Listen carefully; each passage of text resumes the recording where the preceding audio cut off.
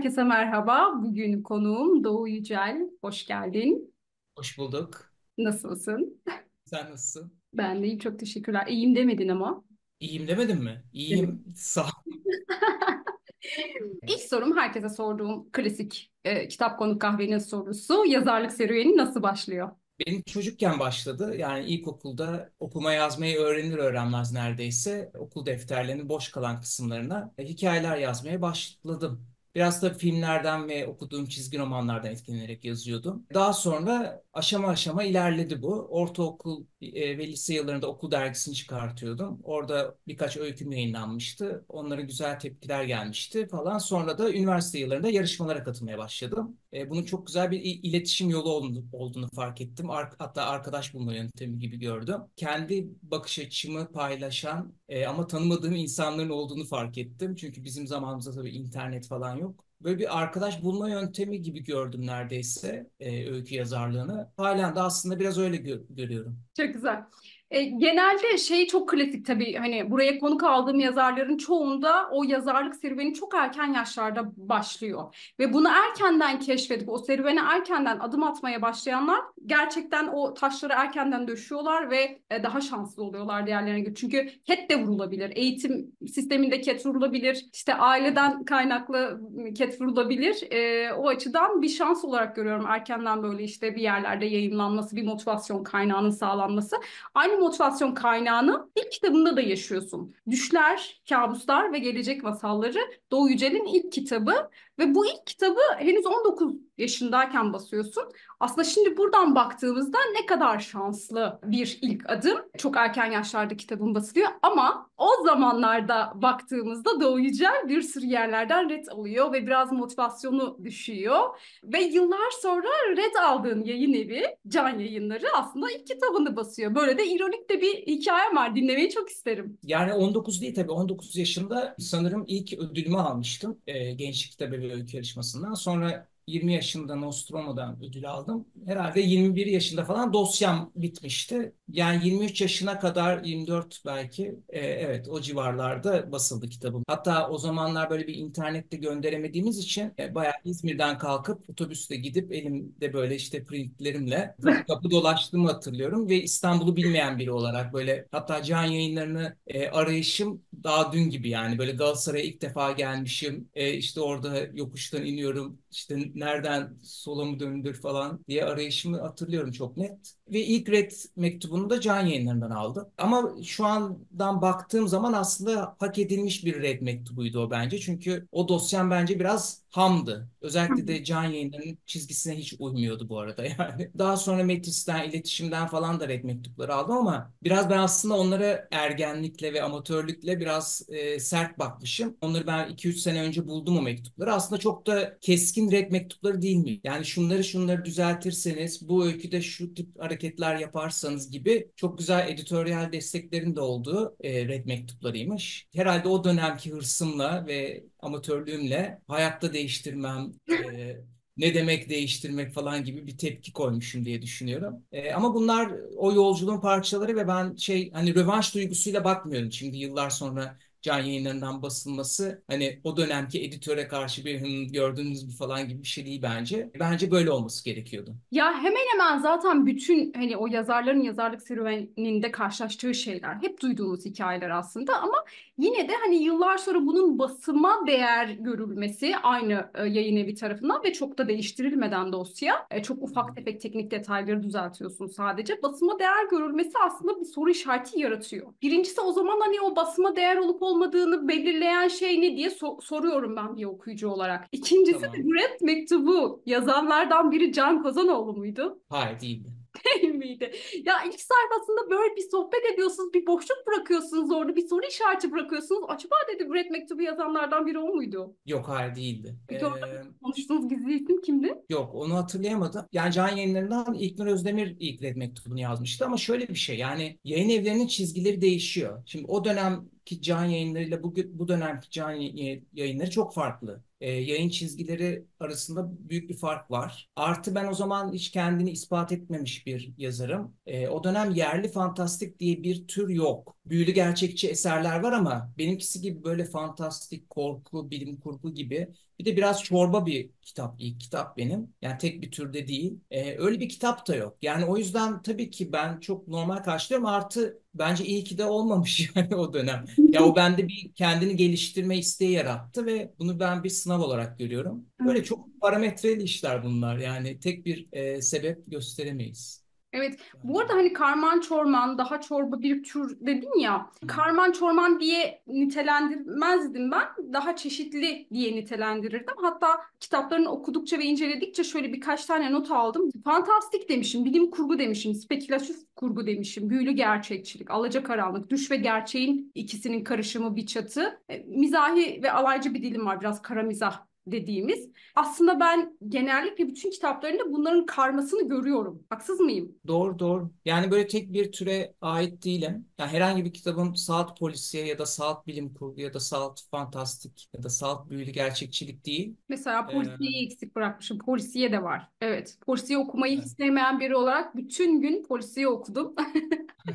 Doğu Yücel hayranları için. Yani türler ve kategoriler benim için önemli değil. Yani şu türde yazayım ya da bu kategoride olsun diye hiç bakmıyorum. Ee, hep aklıma bir fikir geliyor. O fikrin peşinden gidiyorum. O fikir nasıl en doğru şekilde yansıtılır? Ee, o öykü en doğru olay örgüsüyle, en doğru karakterlerle nasıl anlatılır? Bu öykünün cümlesi nasıl en doğru şekilde ortaya çıkar. Hep bunların peşindeyim. Yoksa öbür türlü sıkıcı olurdu herhalde. Çünkü hepsinin formülleri var. Yani salt polisiye yazmak be- bence benim gibi kara mizahla karışık polisiye yazmaktan çok daha kolay. Ya da salt bilim kurgu yazmakta.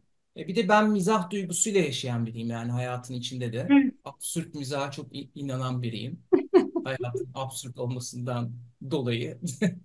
E, Yani en ciddi öykümde bile ya da en üzücü, en böyle depresif öyküde bile bir espri olsun istiyorum. Benim sevdiğim Hmm. işlerde de böyle. Yani mesela bir umut duygusu illaki olmalı. Aslında böyle de bakmıyorum. Zaten bunların hepsi sezgisel bir şekilde gelişen şeyler. Yani refleks olmuş artık bende. Bilerek de yapmıyorum galiba. Çeşitlendirmeyi seviyorsun. Biz de seni böyle okumayı seviyoruz. İkinci kitabına geçeceğim. Tamam. Hayalet kitap. Öykünden sonra romanla devam ediyorsun e, yazma serüvenine. Ve aslında bu hayalet kitapla birlikte konuşmak istediğim bu edebi metinlerin düz yazının sinemaya uyarlanması. Çünkü işte 2002'de ilk defa yayınlanıyor bir kitabın. Sonra 2004'te de Taylan biraderler tarafından sinemaya uyarlanıyor okul filmi olarak. Üniversiteyken lise hikayesi falan filmde görüyoruz. O şekilde uyarlanıyor. İşte orada kampüs hayatını resmediyorsun, eğitim sistemine eleştirel bakan e, bir kitap olduğunu söyleyebiliriz. Hatta sonrasında Taylan biraderler bir senaryo çalışman daha oluyor. O da Küçük Kıyamet. Sonra Mithat da sinemaya uyarlanıyor ama bunların dışında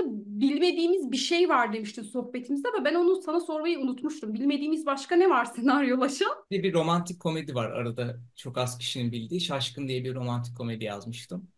Aa, onu da öğrenmiş olduk. Peki, şimdi o zaman şeyi konuşmuş olalım. İki farklı disiplinin böyle işte melez bir, bir yapıya bürünüp farklı bir e, kurgusal bir şeyin ortaya çıkmasını seviyorsun. Ve galiba çok da metinle oynanmasını sevmiyorsun. Çünkü hani hem bunlarda da çok böyle metin farklılaşmıyor. Hem işte Mithat'ta da baktığımız zaman, Mithat'a da geçeceğiz birazdan. Çok farklılaşmıyor. Onu bilerek mi korumaya çalışıyorsun? Böylesi daha mı hoşuna gidiyor? Yani her defasında şartlar başka oluyor. Okul aslında e, Hayalet kitabın serbest bir uyarlaması oldu. Çünkü o dönemki şartlar bunu gerektirdi. E, çok gençtim ben zaten o zaman. Yani 25 yaşında falandım ve karşımda hani Taylan biraderler gibi tecrübeli yönetmenler var. Sinan Çetin gibi çok popüler bir yapımcı var. Biraz o onların istekleriyle şekillenen bir projeydi. Kitabın yapısı da buna uygundu. Bir de kitapta üniversite dönemini anlatıyorduk ama e, özellikle Taylan biraderler asıl eğitim sistemimizdeki problemin lise olduğunu söyledi ve e, bu öykünün lise ortamında daha iyi insanlara geçeceğini söyledi ve aslında haklılardı. E, ben de bir yandan şunu düşündüm. E, okul bir çekilir zaten başarılı olacağını ben emindim yani.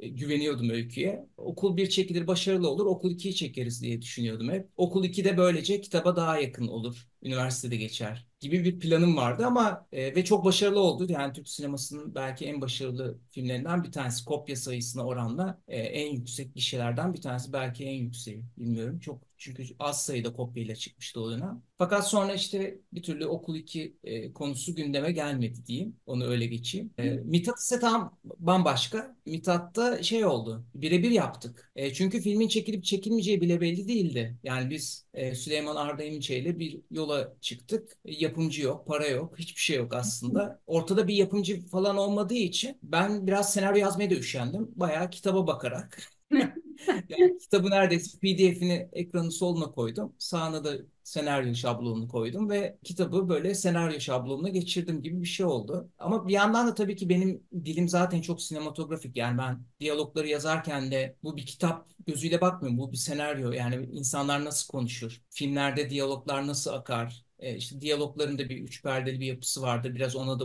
uyan bir şekilde yazdığım için kolay bir aktarma süreci oldu. Ama benim tercih ettiğim bu aslında. Yani kitaba sadık kalınması. Çünkü biz gerçekten bir yazar, bir kitabını yazarken zaten onun dramatik matematiğini bir senaristin bir filme hazırlanırken e, yaşadığı süreçten daha yoğun ve daha uzun sürelerde yaşadığı için yani iyi bir kitap bence filme sadık bir şekilde uyarlanmalı. Benim şu anki görüşüm öyle. Ama e, farklı açılardan bakılabilecek bir konu. Peki çalışmayı çok istediğin bir yönetmen var mı? Çalışmayı çok istediğim. Dünyada mı, Türkiye'de mi? Nasıl cevaplamak istersen. Hani kitaplarının uyarlanmasını. Yani yine senin kitapların uyarlanacak sinemaya ve hani öyle olunca da herhalde Türkiye'li yönetmenler akla geliyor. Yani Türkiye'de benim sevdiğim yönetmenler genelde kendi senaryolarını çeken yönetmenler oluyor. İşte Nuri Bilge Ceylan, ne bileyim Çağan Irmak. Yazarsan Nuri Bilge Ceylan'ın istediği bir hikaye çeker neden olmasın? Herkesin hayalidir o tabii yani. Değil mi? Peki ben Mithat'a geçeceğim. Benim alıntım da orada, sorularım da oradan e, olacak. Senin alıntını alalım önce. Alıntı mı? Evet, okuyacağım Tamam. alıntıyı. Birkaç kitap atlıyoruz. Sen kronolojik gidiyordun. Ee, gördüğünü Google'dan öğrenen adamdan gözlüğümü takacağım. Bu bir öykü kitabı. İlk öykünün açılışını sevdiğim için öldüğünü Google'dan öğrenen adam. Öldüğümü Google'dan öğrendim. Evet, doğru okudunuz. Öldüğümü, yaşayan bir organizma iken cesede dönüştüğümü, dünyada olduğumu düşünürken aslında çoktan tahtalı köyü boyladığımı bildiğiniz internetten öğrendim. Kulağa eğlenceli gelmiş olabilir, gelmesin son derece sarsıcı hatta aşağılayıcı bir histi. Aslında bu bilgisayar ekranından kendimle ilgili aldığım ilk kötü haber sayılmaz. Üniversiteyi kazanamadığımı ÖSYM'nin sitesinden, hoşlandığım kızın adımı bile bilmediğini Facebook'tan, çok sevdiğim öğretmenimin tutuklandığını Twitter'dan, en yakın arkadaşımın iş yerinde ayağımı kaydırmaya çalıştığını LinkedIn'den, işten çıkarıldığımı e-posta kutumdan, arabamın çalındığını WhatsApp'tan, karımın beni aldattığını ise Instagram'dan öğrenmiştim.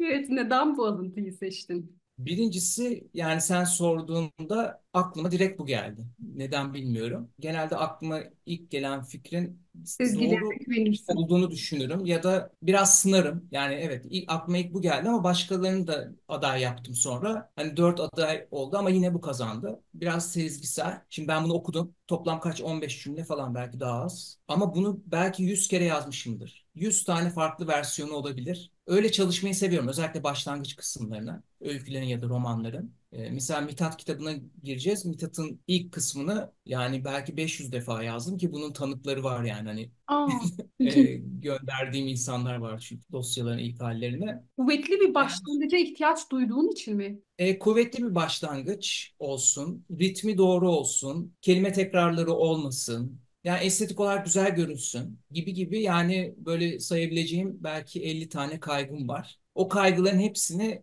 giderebilecek bir başlangıç gerekiyor. Tabii ki her öykünün ya da romanın her tarafına bu kadar özenmiyorum. Ama öykülerin özellikle başlangıç kısımlarına e, genelde bayağı özeniyorum. Sürekli değiştiriyorum. Yani baskıya gitmeden önce durun göndermeyin Diyesin geliyor. şurasını biraz değiştirmek istiyorum gibi şeyler kriz krizlere sebep olmuşumdur epey farklı farklı yayın evlerinde tanırlar beni bu özelliğimle. Yani bi- bilmiyorum yani böyle bir ben yazarlığı biraz şeye benzetiyorum. Marangozluğa ya da böyle heykeltıraşlığa. Yani bir şey yapıyorsunuz, bir şey çıkıyor, güzel olabilir ama yani biraz törpüleseniz şurasını daha güzel olabilir. Biraz şurasını boyasanız daha iyi olabilir gibi Hmm. bakmaya devam ediyorum o esere.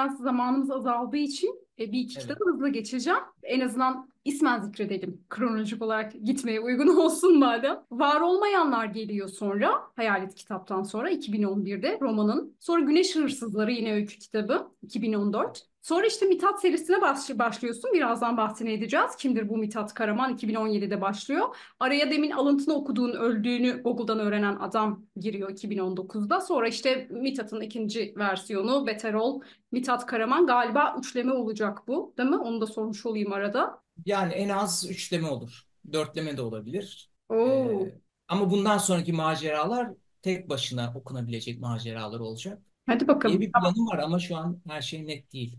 Tamam. Ee, bir de son kitabın Uzak Dünyalar var. Buna da ilgili konuşmak isterim. Mithat'tan biraz zaman kalırsa. Ee, şimdi benim hem alıntım Mithat'tan hem de Mithat serisinden e, biraz bahsetmek istiyorum açıkçası. İlk kitabın bu. Kimdir bu Mithat Karaman? Ya burada bir karakter yaratıyorsun. İşte bir loser hani kaybeden karakter diyelim. İşte biraz lüzumsuz adam ve biraz aylak adam enstantaneleri hissediliyor. Ama ya ben bir okur olarak bunu hissediyorum ama şöyle bir hile de hissediyorum. Aslında yazar çok da kıyamıyor. Yani hep de böyle bir her e, tuhaf hikayenin sonunda sanki bir kahraman da çıkıveriyor. Ne dersin? Kıyamamışsın çok Mithat'a bence. Ha, şey loser olarak bırakmamışsın. Biraz onu E kahramanlaştırmışsın gibi. yani Yoksa yani biraz bakıyorum her olayın sonunda "Ah, tamam Mithat yine bir kahraman çıktı buradan.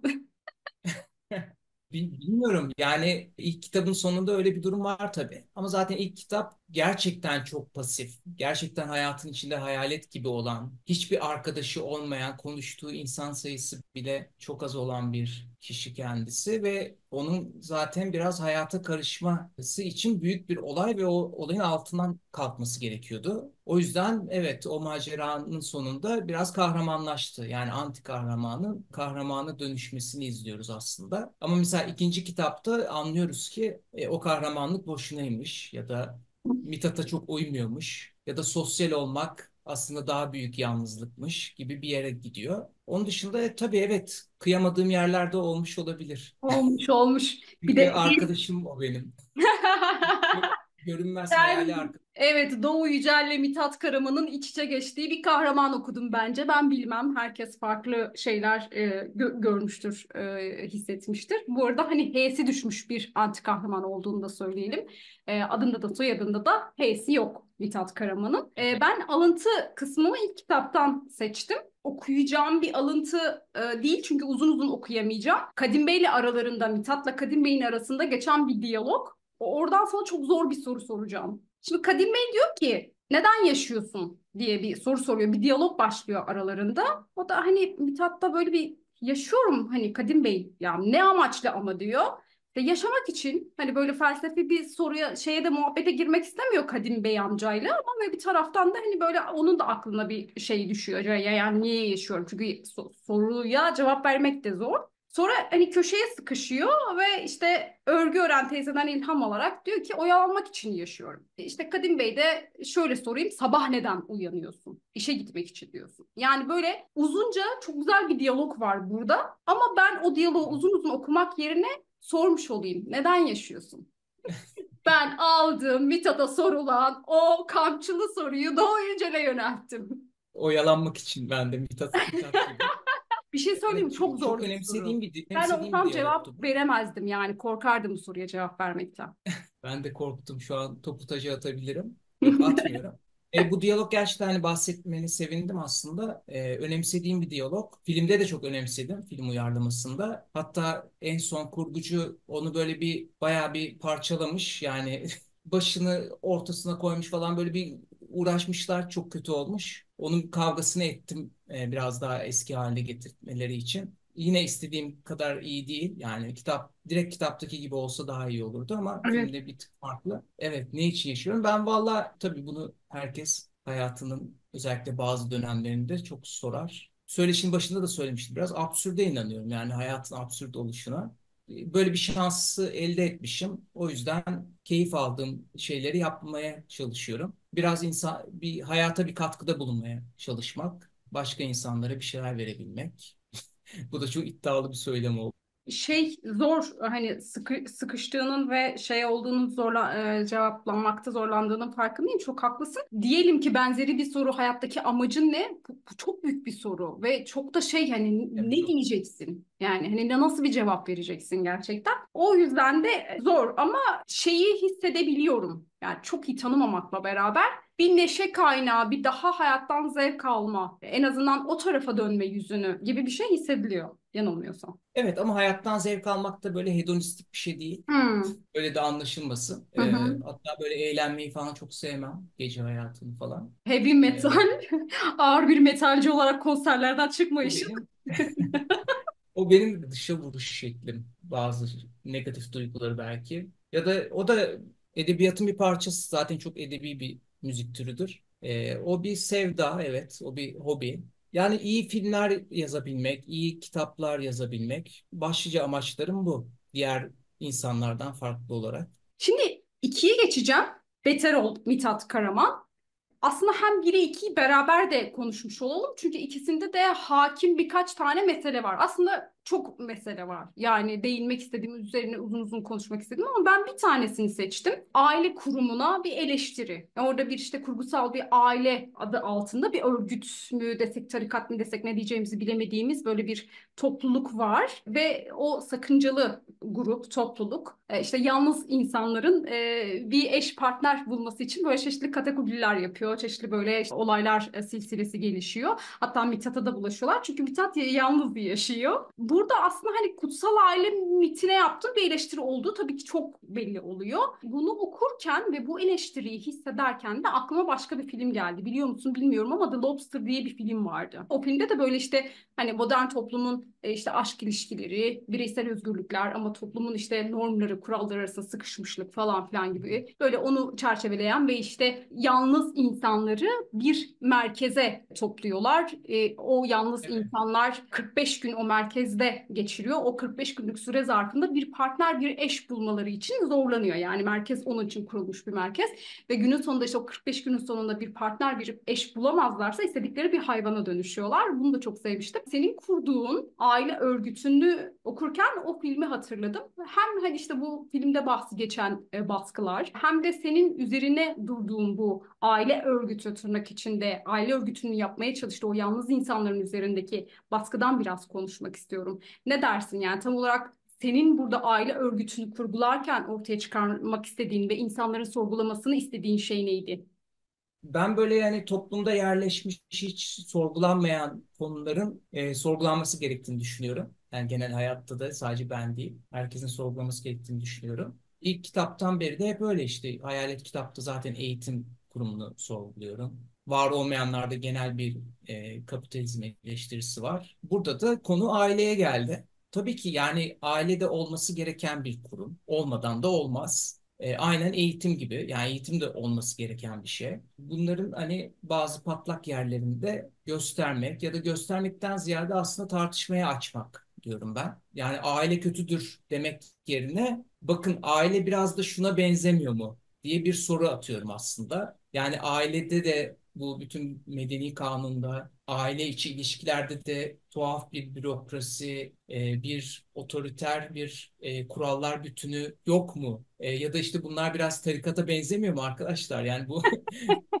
sorular soruyorum aslında ve benziyor da yani hani tarikatları çok eleştiriyoruz tabii ki. Eleştirmeye de devam edeceğiz. Olmamaları için her şeyi yapacağız ama bir yandan da aslında her kurumda devletten aileye kadar her kurumda da böyle bir tarikat gibi bir kurallar bütünü, bir e, hiyerarşi, sert bir hiyer- hiyerarşi ve insanların birbirine ezdiği bir vahşi bir jungle söz konusu. Ben de o şekilde bir aile kurumuna bir eleştiri getiriyorum. Yani şimdi evet Lobster mesela çok güzel bir aile eleştirisi bence ya da yalnız kalamamanın neden bu kadar toplumsal baskıya uğradığına dair çok güzel bir eleştiri. Ama Lantimos'ta muhtemelen bir ailesi var, çocukları var ve o, aile düzenine devam ediyor. Yani oradan bir kaçış yok. Bir stand-upçı vardı. Türkiye'ye de geldi. Daniel Sloss'tu galiba adı. E, bu kendini çiftlere ayırmaya adamıştı. Yani ilişkilerin bile çok yanlış olduğunu, hani evliliği geçtim. E, ve rekoru var. Yani şu kadar çift, çifti ayırdığına dair yaptığı şakalarla ayırdığına dair böyle belgeli bir şekilde bunları belgeletti ve bir rekoru var bu konuda. Bu böyle makaleler falan çıktı tabii. E, İlginç. ilk gösterisiydi. Jigsaw isimli gösteri. Ve sonra kendisi şu an evli. Yaptığı iyisi o kadar yuvayı yıktı. Şu an kendisi evli. O yüzden ama bence burada bir tutarsızlık yok. Biraz sanatçı dediğimiz insanlar bence biraz tabularla uğraşmaları gerekiyor. Ben de tabuları tabularla uğraşmayı kendime görev edinmiş biriyim. O kadar çok kutsalımız var ki yani bir şey biliyorsun işte bu kutsal yere koyunca da o kutsal perdenin altından da hiç dokunulamaz, hiç sorgulanamaz, hiç eleştirilemez bir şeye dönüşüyor ya. Belki tehlikeli Evet. olan o.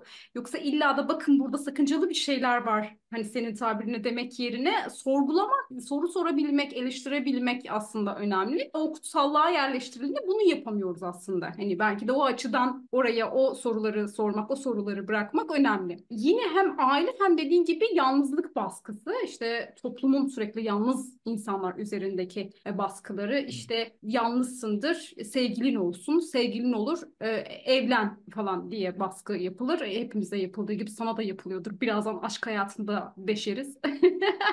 Şimdi Sonra şey, çocuk baskısı gelir. Heh, Çocuk sonra çoluk çocuk, evet Baskılar evet. bitmiyor. Filmde de böyle benim çok sevdiğim bir diyalog var. Ee, bu arada filmde Kadir Doğulu oynuyor Mithat'ı. O da güzel oynamış. Sorgu sırasında bir cinayet var. Olayla ilgili çok, spoiler vermeyeyim. Sorgu sırasında şöyle bir diyalog dönüyor aralarında.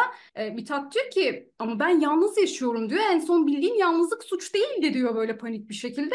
Adam da diyor ki hala değil merak etme. Hala mı değil? Yani ileride olabilir mi? gibi böyle bir diyalog geçiyor. Diyalog benim kitapta da çok hoşuma gitmişti. Filmde de çok hoşuma gitti. Aslında ileride değil de zaten şu an suç. Yani öyle bir baskı var ki şu an suç gibi davranılıyor yalnız insanlara. Sana nasıl geliyor bu baskılar? Sen de çok maruz kalıyor musun? Yalnızlığında çok okey misin? Yalnız değil misin ya da bilmiyoruz. Hani hayranların içinde böyle özel bir pencere de açmış olalım sohbette.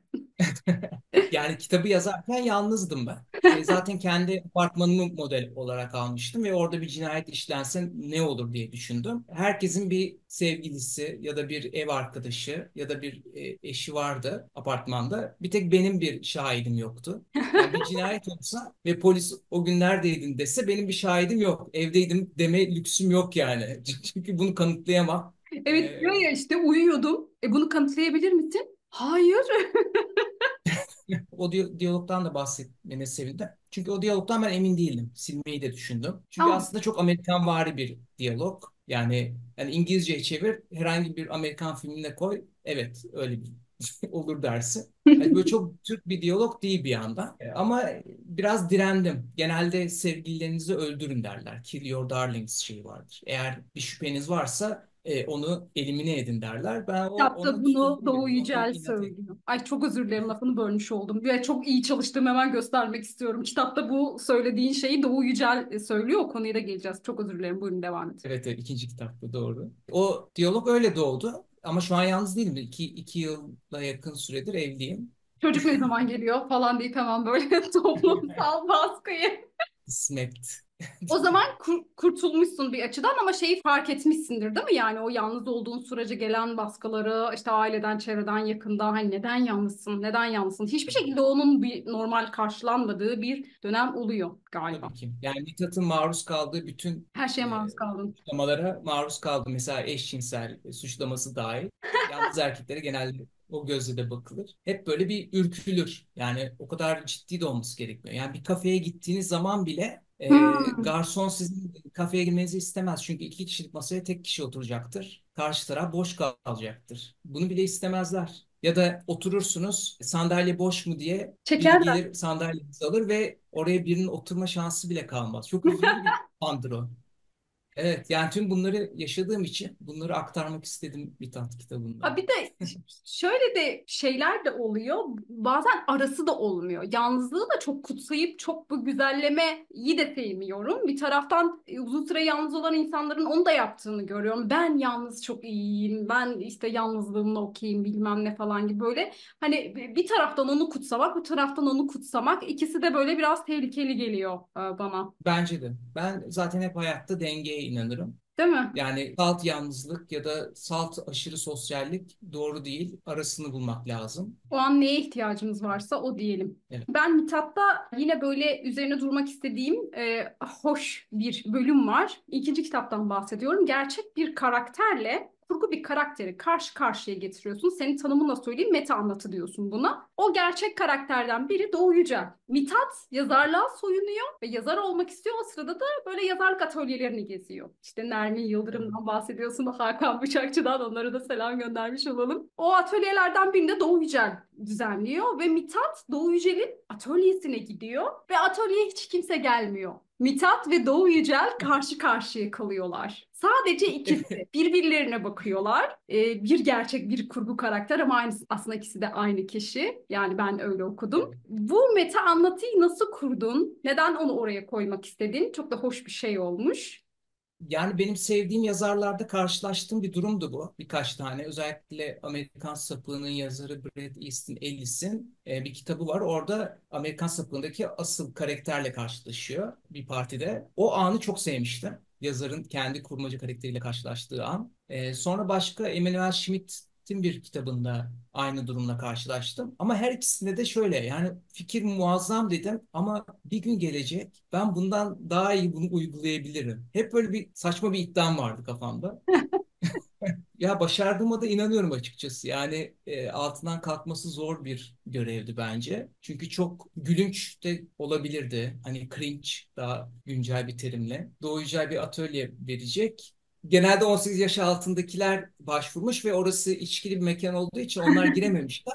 Tek Mithat girmiş. Tek kişi geldiği için vermek zorunda. Çok sinir bozucu bir durum. Yani her kitabın yazma süreci biraz büyülü oluyor ama o kitabın o kısmı daha bir büyülü oldu. Hakikaten yani meta anlatı ama ben onu kafamda yaşarken hani metanın metası gibi oldu. E, işte orada bir kağıt, aramıza bir kağıt giriyor ve işte öykü evrenini anlatıyor Doğu Yücel ve e, kalemle delik açıyor kağıtta. O delikten de böyle Mithat'a bakıyor, Mithat da ona bakıyor falan. Böyle biri öykü evreninde, biri gerçekte aslında. O sevdiğim sahnelerden bir tanesi. Keşke birinci film başarılı olsaydı da ikinci filmde bu sahneyi çekebilseydik. Biraz oyunculuk öğrenmem gerekirdi ama bence güzel bir sahne olurdu diyorum. Evet evet güzel belki de olur ileride. Bakalım. Şimdi ben son sorumu soracağım ama son sorumdan önce bir duyurum olsun izleyicilerimize ve dinleyicilerimize. Bu yayını dikkatle izleyin ve dinleyin. Bu aynı zamanda podcast olarak da yayınlandığı için izleyin ve dinleyin diye her defasında e, düzeltiyorum. Çünkü e, bu yayınla ilgili ben size üç tane soru soracağım ve o üç soruyu bilenlere Can Yayınları e, işte Mithat serisini e, hediye edecek üç kişiye. Bu soruları ilerleyen günlerde Bağımsız Gazeteci Instagram hesabımdan vereceğim. Ama ben şimdi daha uyarmış olayım. Can yayınlarına da bu cömert hediyesi için teşekkürlerimi ileteyim. Bunu dedikten sonra hemen son soruma geçiyorum. Son sorum da son kitabınla ilgili. Uzak Dünyalar 2023 yılında yayınlanıyor. Gün Işığı kitaplığından çıkıyor. Bu Köprü Kitaplar Koleksiyonu'nun 29. kitabı diye bir ibare okudum. Köprü Kitaplar Koleksiyonu ne? Belki bize biraz onu anlatırsın. Bir de aslında hani bir gençlik hikayesi yine hani genç edebiyatını yazmayı seviyorsun. Diğer kitaplarında da bunu hissediyorum. Ee, genç edebiyatını yazma tutkun, genç dünyasını daha renkli bulmak mı? Oradaki o dünyayı daha renkli bulmakla bulmak mı? Öte yandan samimiyetine güvenerek söylemiş olayım bunu. Bir taraftan hani yaş olarak, zamansal olarak gençlikten uzaklaşıyorsun ama ruhsal olarak daha mı yakınlaşıyorsun? Ee, o yüzden daha mı seviyorsun, daha mı iyi yazdığını düşünüyorsun? Bunu sormuş olayım. Yani şöyle köklü kitaplardan bahsedeyim. Köklü kitaplar serisi böyle usta yazarlara, tanınmış çağdaş edebiyat yazarlarına gençlik kitabı yazdıran e, bir seri. Hani bunda Necati Tosuner gibi biraz daha eski kuşaktan usta yazarlar da var. Biraz daha benim çağdaş yazarlarım da var işte Irmak Zileli gibi. Çok güzel bir seçki, çok iyi yazarları barındıran bir seçki. Buna davet edildim Semih Gümüş tarafından. Bu da benim için çok mutluluk verici bir olaydı. Ve hemen de zaten aklıma bir hikaye geldi. Zaten hazır bir hikaye vardı kafamda anlatmak istediğim. Onlara bahsettim bu hikayeden. Çok güzel dediler. Hemen e, yola koyuldum. Çok önemsediğim bir kitap aslında Uzak Dünyalar. Benim çocukluğumdan da izler var. Benim gençliğimden de izler var ama böyle bugünün gençliğine dair iyi bir kitap oldu. Okullarda da okutuluyor. E, güzel tepkiler geliyor gençlerden. Zaten bir 14 yıl ben Gençlik dergisinde yazdım. Gençlik ve Müzik dergisi, Blue dergisinde yazdım. Evet. Yazı işleri müdürlüğü yaptım. Mecburen zaten onlardan uzak değildim yani mektuplaşıyorduk, e-maillaşıyorduk ya da etkinliklerde bir araya geliyorduk. Hala bir araya geliyoruz genç Hı hı. okullarla. Yani bir yazar olarak bence zaten bizim asli görevlerimizden biri insanların hayatına dokunmak bir yerden. E, ve aslında en çok gençlerin hayatına dokunmamız gerekiyor bence. Çünkü büyümekte olan bir insan daha fazla şeyden geçiyor, dönemeçten geçiyor hayatında. Böyle onlara bir el vermek mi diyeyim, onlara bir yoldaşlık etmek mi? Daha anlamlı. Ben çocukken işte 15 yaşında Kaptan'ı okumuştum Jules Verne'in. Benim hayatımı değiştiren kitap. Ee, ben zaten Uzak Dünyaları yazarken de onu hedef aldım. 15 yaşında Kaptan'a tekrar baktım. O kitap da beni ne etkilemişti onu çözmeye çalıştım. Aynı etkiyi yeni kuşaklara vermeye çalıştım. O dalda da devam etmek istiyorum. Hatta çocuk kitabı yazmak da istiyorum. Yani daha bu mesela hani ortaokul lise çağına göre bir kitaptı. Ee, ama böyle yani 7-8 yaşlarında çocuklara da yazmayı isterim. Ha, çok güzel. Yeni bir plan olarak da bunu da duymuş olduk. Bir çocuk kitabı da tutabilirsin Eren. Ben her dalda yani sadece edebiyat olarak da bakmıyorum. Hani sinemada olur, tiyatroda olur. Belki bir ço- çocuk tiyatrosu atıyorum şu an. Ee, her dalda kalem oynatmak e, istiyorum açıkçası. Yeteneğim ve kapasitem el verdiğince. Peki. Benim sorularım bu kadar. Hoş sohbetin, samimi sohbetin için gerçekten çok içtenlikle teşekkür ediyorum. Söylemek istediğin son söz niyetine bir şey var mı? Ben de teşekkür ediyorum. Ee, çok sağ ol. Güzel sorular. Bazı şeyleri hatırladım. Güzel. İyi oldu. Hemen yazasım var şu an. Böyle bir şeye, yeni bir öyküye başlayasım var. Çok güzel. Böyle bir etkisinin olduğunu bilmiyordum yayının. Bu bölümde onu da öğrenmiş oldum. Peki sağlıcakla kal. Teşekkürler. Görüşmek üzere.